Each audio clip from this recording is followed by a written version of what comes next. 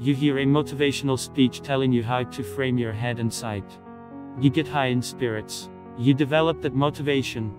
You start doing things fully energized. After a day full of energy, you go to bed exhausted. The very next day, you wake up. Maybe you remember the goal of the previous day. You again start your day fresh. You get to work again, but this time you are much slower, and as time goes on, you start getting low.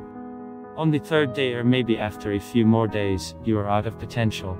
You feel sulky and lazy again.